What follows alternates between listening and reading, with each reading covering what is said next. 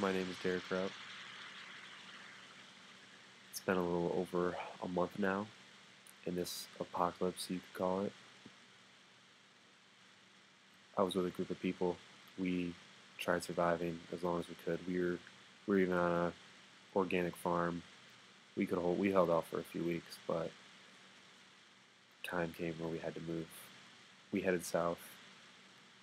We are gonna try to get over the border, just head south, keep traveling, keep traveling, try to get out of the reach of this disease, we it. Well, we hit the border, Michigan border, there was a wall.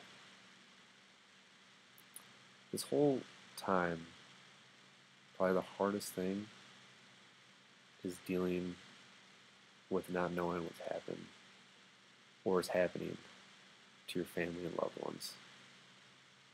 It's kind of the only thing that really kept me going, you know. And when I saw that wall, kind of just killed me. I kind of lost all hope. Didn't know what to do.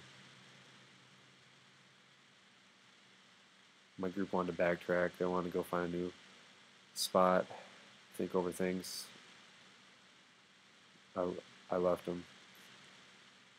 I knew two towns back I saw a few military vehicles, and that's where I'm going. They say not to trust them, but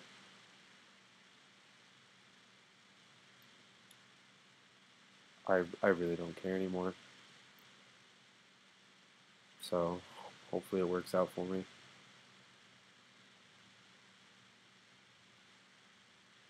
Hard. One thing I've learned though, for who's ever watching this, preparation's key. Prepare, prepare, prepare. Have the tools you need set in place. Prepare for different situations. Tell you what, no one really knows how to deal with something until they've dealt with it. And the only way to have higher success at dealing with that something to be more and more prepared for it. I wish I was prepared. Just simple things. You know, like I lost my phone a week or so in. I I don't know any anybody's number. I just click on their name on my cell phone and call them or text them. Things as simple as remembering someone's phone number could really make a difference. So, who's ever watching this, good luck.